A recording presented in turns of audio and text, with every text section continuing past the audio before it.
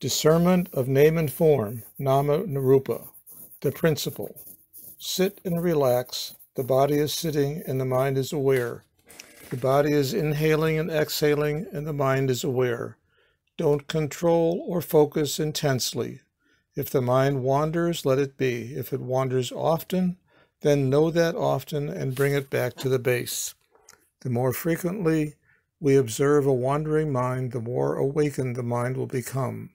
As we continue watching and being aware of mental states and phenomena, mindfulness will spontaneously arise and become objective observation, right concentration. If the mind is weak and wavering, be aware. Increase your effort and bring it back to the base. Use one of the primary objects of meditation as your base. Don't control and don't over concentrate. Just relax and observe when the mind strays and bring it back to the base. We need to be patient, persistent, and diligent to succeed. Mindfulness can be practiced at any time. While the body is working for a living, the mind is aware of bodily movements and is mindful of wholesome or unwholesome thoughts that arise. Keep bringing mindfulness back to the body that is walking or sitting, and mindfulness will arise more frequently. Practice often every day and whenever sensations arise and impact the mind to wander off. As the mind is cultivated, it spontaneously becomes more stable. Then right concentration, samadhi, arises. This reflects a high quality of mind which is tranquil, light, gentle, quick, and serene without unwholesomeness or distraction. When the mind is objectively observing at the base, there is no self. Then, when an external object comes into contact with the eyes, ears, nose, tongue, body, or mind, the mind objectively observes and sees cause and effect, contact, and then the impact causing the mind to think, followed by liking or disliking, and then craving and clinging. When a thought arises, the mind objectively observes and contemplates the rise and fall of the thought. Mindfulness is therefore cultivated by persistently and diligently practicing watching the mind that strays from the base and always bringing it back until the mind becomes stable and objectively observes. Then the mind can separate the mind from the body and phenomena, and we will see the truth that all phenomena are arising, existing, and disappearing. Vipassana practice focuses solely on the mind in pursuit of the Noble Eightfold Path, Magga. All the components of the Noble Eightfold Path are working while we watch the mind. The division of concentration, which consists of right effort, right mindfulness, and right concentration, is mastered when the mind is objectively observing at the base. We choose one object of meditation when practicing and make right effort, samavayama, to relax and observe the mind that wanders off. Every time the mind wanders, just know it and bring it persistently back to the base until mindfulness spontaneously arises. We then become mindful of it, which is right mindfulness. When the mind is stable, objectively observing and arising spontaneously at the base, right concentration has been attained. In other words, the mind that is objectively observing is the mind that has right concentration. Without right view, however, practicing to cultivate right concentration cannot be done correctly. Right view is the right understanding of how to practice directly to nibbana and watching the mind and observing when thoughts arise in pursuit of right thought. Objectively observe desire, aversion, or ignorance as they arise to see the three marks of existence, wisdom, and cultivate right speech, right action, and right livelihood. To cultivate right thought, watch the mind and refrain from harsh, slanderous, false, and purposeless speech. We adhere to right action by following the first three precepts refraining from killing, stealing, and sexual misconduct, and pursue right livelihood by avoiding occupations that are harmful to others. When we are objectively observing and watching the mind, we are able to separate the mind from body and phenomena. Only through hard work and persistent effort will we successfully cultivate the Eightfold Noble Path. We are not talking about tranquility achieved through concentration here, but rather through right concentration. Desire, unwholesomeness, and wholesomeness still arise, but cannot affect the mind because it is objectively observing at the base and seeing that all objects are arising, existing, and disappearing. As a result, the mind is detached and free from objects, phenomena. Then the six sense doors in the mind will separate from each other there and will just be no self and contact causing mental states to arise. Then the mind will see thoughts are arising and disappearing. The mind always works, even when the body is at rest. It should be neither lost nor intensely focused, but at every single mind moment, it should be aware of the body that is inhaling and exhaling. Practice this mindfulness until it arises spontaneously, and morality, concentration, and wisdom will automatically be attained. Mindfulness will work by itself even when we are drowsy or lazy. When facing chaos or experiencing extreme sleepiness or boredom, mindfulness is critical to provide strength for the five spiritual faculties faith, effort, mindfulness, concentration, and wisdom so they can overcome these difficulties. Today we are learning how to separate body from mind.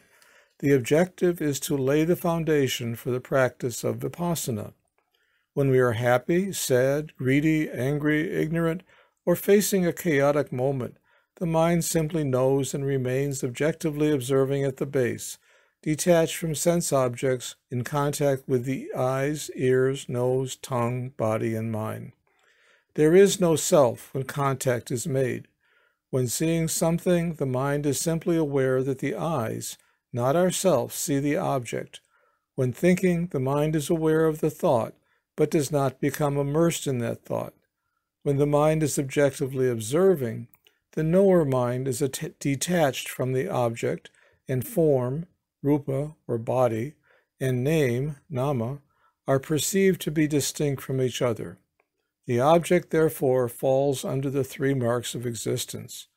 The knower mind that we are cultivating is very important because it can liberate us from suffering, dukkha.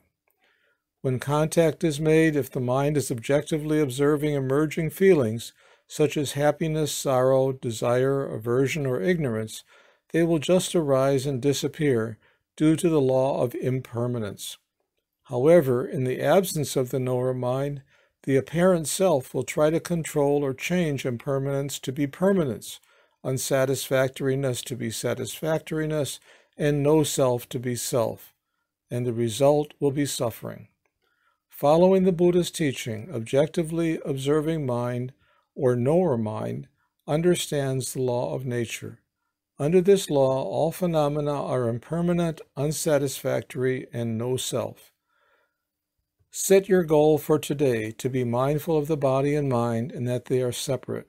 When you succeed, you will no longer be affected by happiness and sorrow.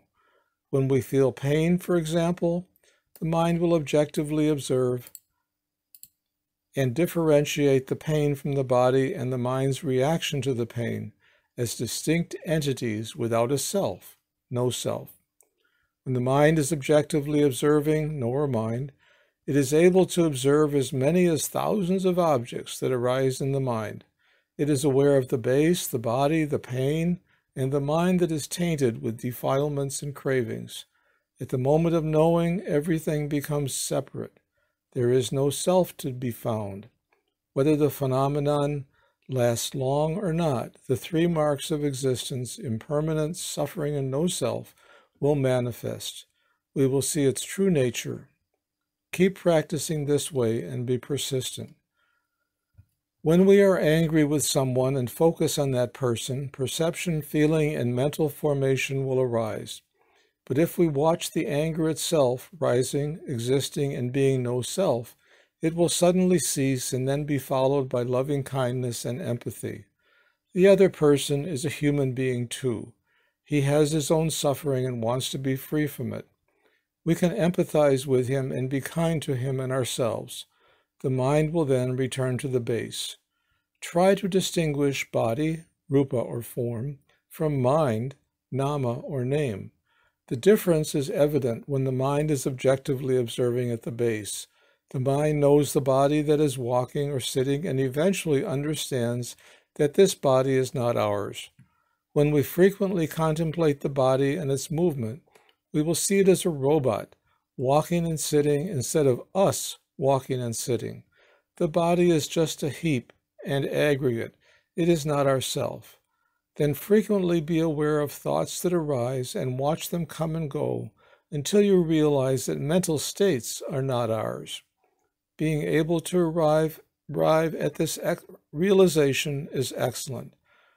To watch the mind, a person whose concentration has led to wisdom should watch the bodily movements and any feelings that arise and fall together with consciousness. We will then perceive that the body does not belong to us, and neither do its sensations. Unsatisfactoriness caused by the body or sensations will have no control over the mind. Practice watching the mind frequently until you realize phenomena are temporary and no self. Where knower mind is one thing that functions by itself and thought is another. Unpleasant feelings will no longer control us. As we watch the body's sensations, mind, and Dhamma phenomena, and are aware of the phenomena that arise, the mind will become completely impartial and free from suffering. However, success can only be achieved by persistent practice to keep the mind from being controlled by mental phenomena that come and go. Eventually, the mind will gain enough wisdom to see the truth. When desire, aversion, or ignorance arise, Watch the mental state to see how the mind reacts, whether it likes or dislikes, is happy or sad, gets angry or stressed, or craves for something. Before taking any physical, verbal, or mental action, look at your current mental state to clearly differentiate between body, rupa or form, and mind, nama or name. Practice often until the mind becomes virtuous, and you will have more freedom. Life is made up of mind moments that arise, exist, and disappear, and it is short and always ready to pass away. Each day is also short. We have seen our friends, brothers, sisters, and relatives passing away, and our turn may be next. Nothing is permanent in this world. The body that used to be strong has become weak. The mind that used to be happy is now afflicted with suffering. Therefore, we need to prepare. Don't get lost in material things that always try to fool us. Even the body and the mind tell us that they belong to us, that they are ours. Once we attach to them, we suffer because we expect them to stay the same. But the fact is that there is no, neither us nor ourself. Continue to differentiate between body, rupa or form, and mind, nama or name, to see that there is no self. When the six sense doors come in contact with phenomena, there is no self because the mind is objectively observing at the base. When contact causes mental states to arise, there is no self, just phenomena that arise and disappear. If the mind is spontaneously at the base and aware of the body and phenomena, at that moment everything is separate and no self. Without attachment, phenomena will arise and disappear and the mind will become free. When we are dying, we don't have to end up in the abyss if we are awake. Cultivating wisdom changes our lives for the better. It enables us to differentiate between good and evil. When someone makes us upset, we have the mindfulness to see our desire to talk back. A true practitioner must be able to be calm and collected, refraining from committing bad deeds and unwholesome acts that are harmful to himself and others.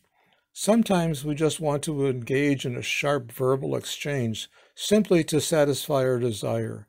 When we act on our emotions, we simply ignore the fact that our action is hurting others.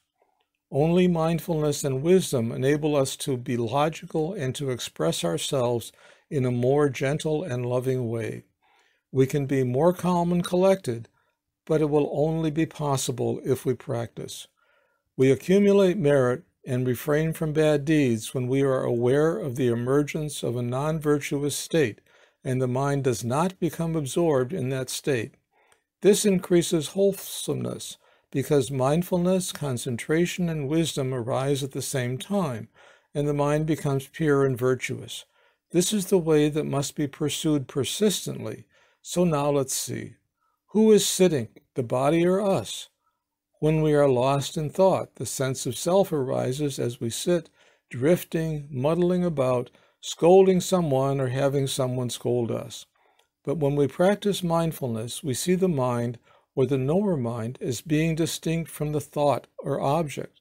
The more we practice, the better we can make this distinction.